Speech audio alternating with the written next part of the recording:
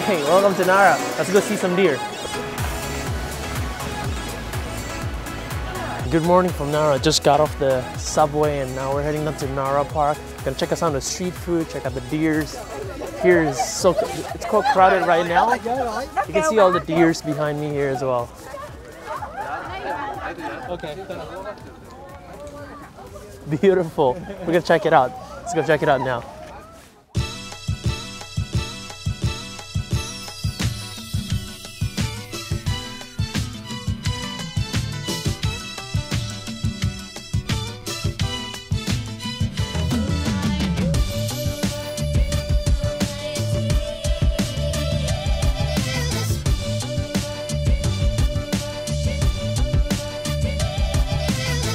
Oh shit, that's a lot. Hey, hey, hey, hey, hey, wait.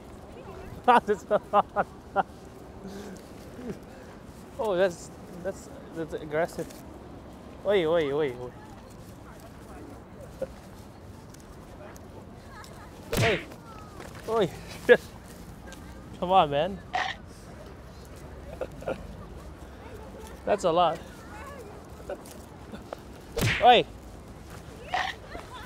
Oi. finish, finish.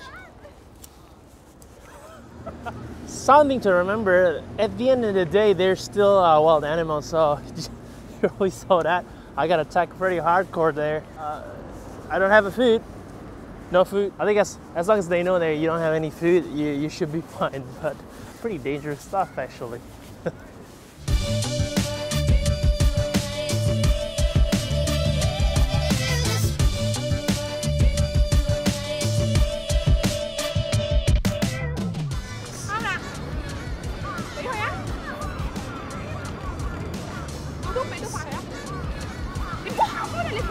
So the thing with the deer is that there are deers that are very respectful um, of your food. So when you bow down, they do bow back to you. But then there's also those deer who are like, just give me the food. You guys saw that in the beginning of the clip when I got attacked. Well, then again, I had like 10 stacks of the food. So maybe that's not a good idea. Yeah, so essentially you don't need food to be close to the deer. Um, as long as the deer's sitting down, you'll be all right. right? All this, or maybe this one's full.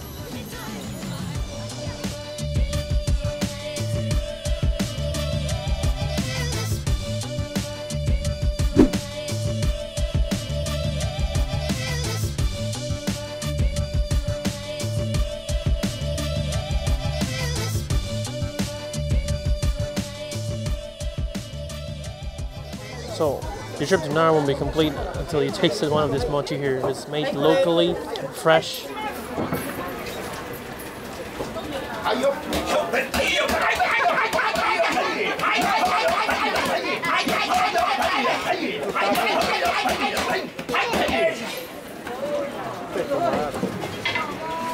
Oh my god.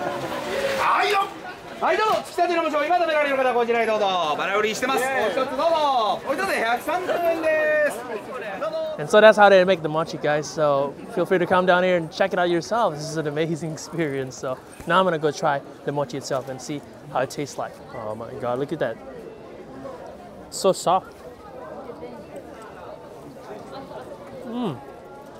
It's really sweet. It's got it's got red bean in it. Can't even talk. But then again, I, I love every food, so I'm a bad I'm a bad biased person. But you guys gotta try this. It's so good.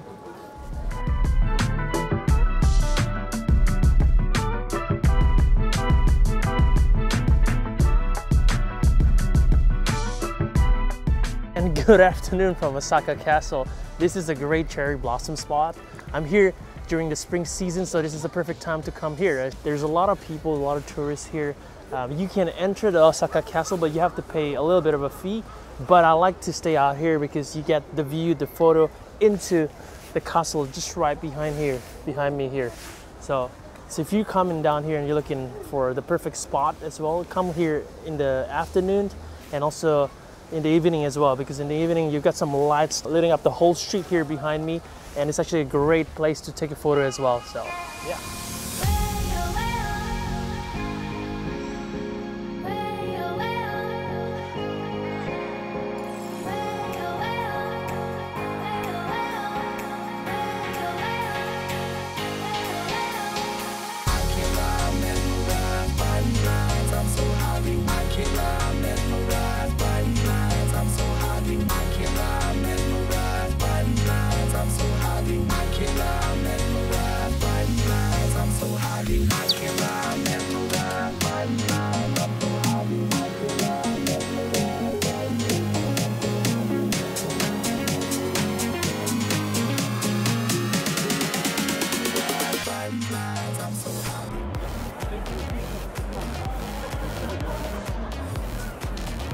wow, you can see the castle from here now.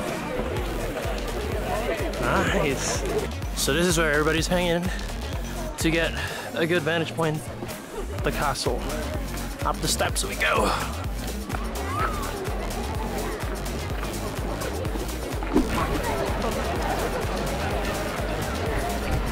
So if you guys want to get into Osaka Castle, you can. You have to pay a little bit of a fee. But check out the line. It's a really long line. So if you really want to go into Osaka Castle, you might want to try to come in really, really early in the morning. Because once you get to about maybe about 7.30 in the morning or 8 o'clock, you start getting the tour bus coming in to this area and it gets really, really a little bit difficult to get in without queuing. So yeah, then that's front of the line. It looks like it costs around 600 yen to get in. So this is as close as I get to Osaka Castle without paying. So if you wanted to come in and check it out, you can. There's a lot of history behind it. So definitely encourage you to check it out if you guys are into history stuff.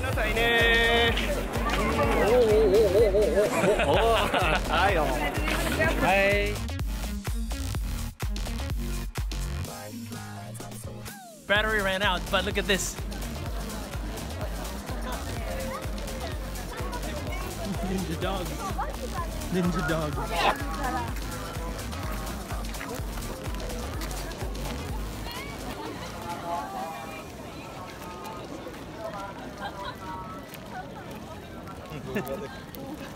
that is awesome.